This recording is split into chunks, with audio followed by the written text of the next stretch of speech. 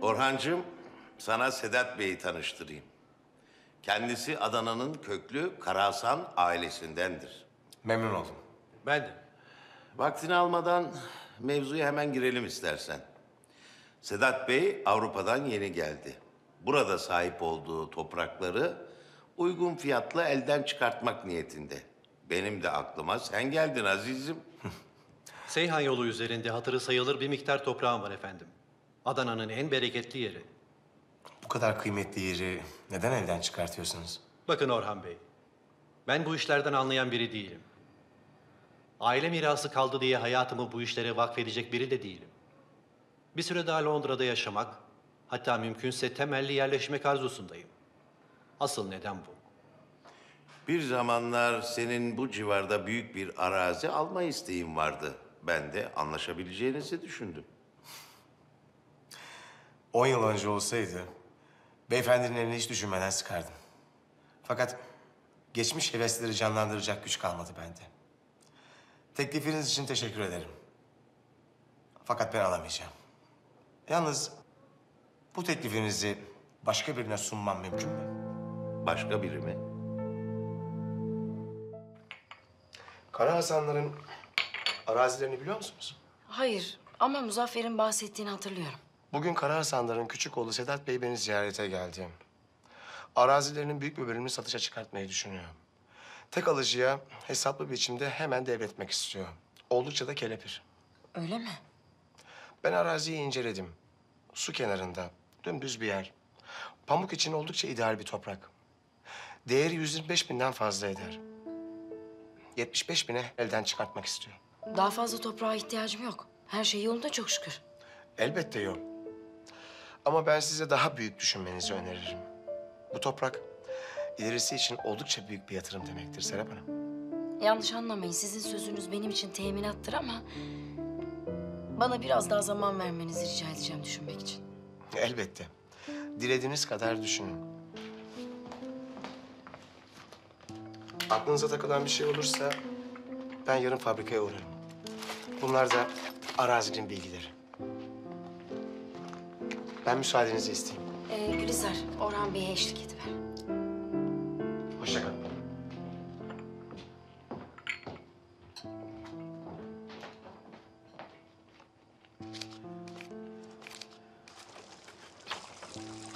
İyi geceler. Kapıyı ben tutuyorum, kapıyı ben tutuyorum. İyi geceler. İyi geceler.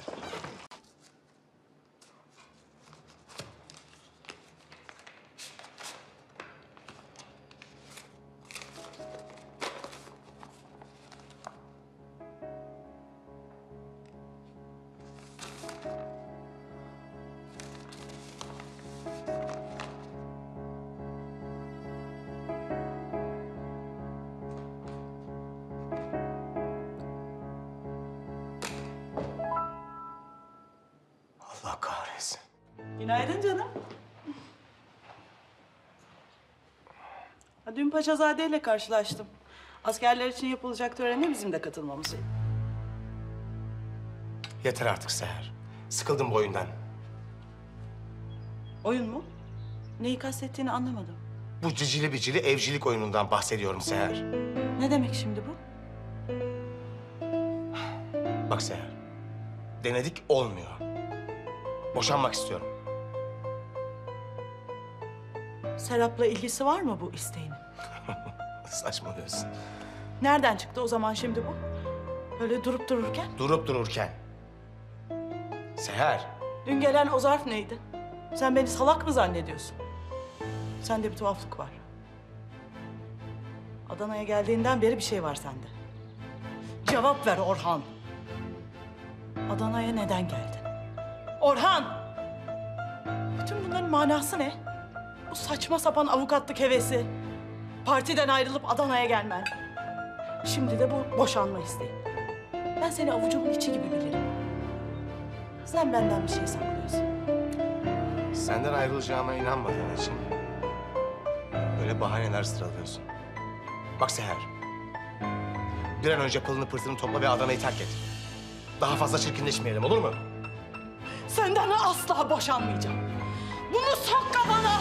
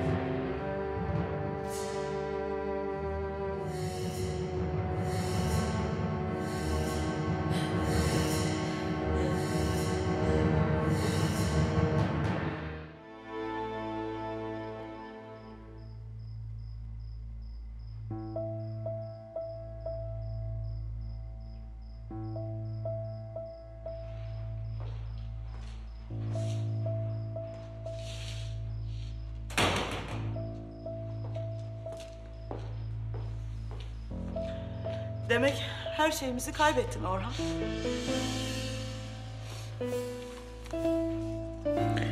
Mahkeme kararıyla Orhan Topurcu'nun sahip olduğu tüm taşınabilir ve taşınamaz mallara el konulmuştur. Bunu nasıl yaparsın? Bunu benden nasıl gizlersin? Borçları ödemek için elinden geleni yaptın. Lakin işler umduğum gibi gitmedi. Her şey bana ailemden kalmıştı.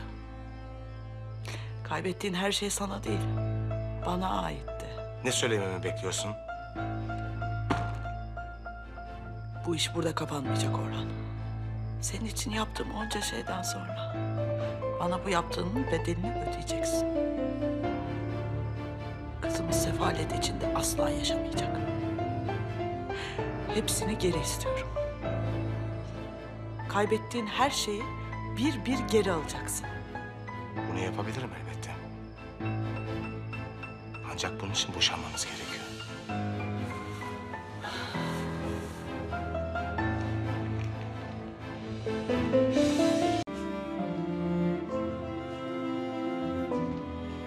Buyurun Serap Hanım, beni çağırtmışsınız.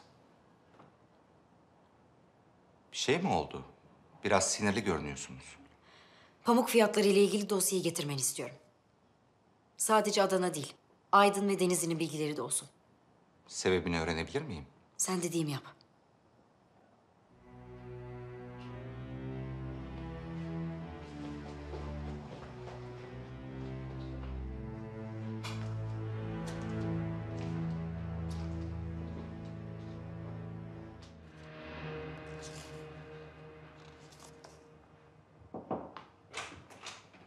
Serap Hanım. Buyurun. Dosyaları inceleriz mi diye merak ettim. Ayrıca geçerken de bir uğrayayım dedim. İyi ettiniz. Ama benim henüz fırsatım olmadı Orhan Bey.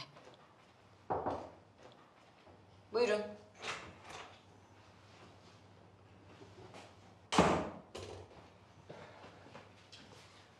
Geçen haftanın taban fiyatları ön sayfada. Serap Hanım, merakım mazur görün ama... ...fiyatları incelemeye neden lüzum gördünüz anlayamadım. Dışarıdan pamuk almamız gerekebilir. Neden? Mahsullerin üçte biri hastalıklı. Geri kalan da ancak ikinci kalite sayılır.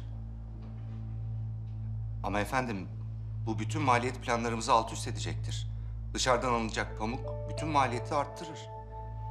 Ne teklif ediyorsunuz peki? Ben sadece durumu açıkladım. Fabrika bunu tolere edemez. Neden kendi pamuğunuzu işlemekten imtina ediyorsunuz? Düşük kaliteli pamuğu sürekli müşterimize nasıl veririz?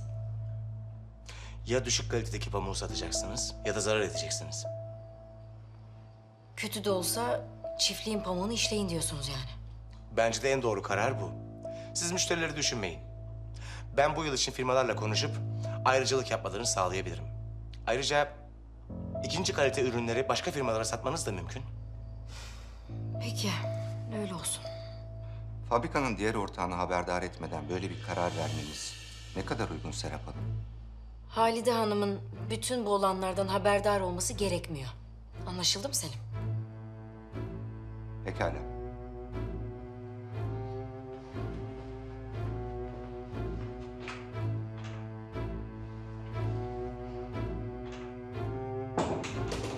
Yeni toprak alma meselesini düşünmenizi tavsiye ederim.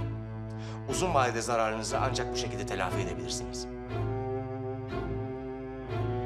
Kanalımıza abone olarak tüm videolardan anında haberdar olabilirsiniz.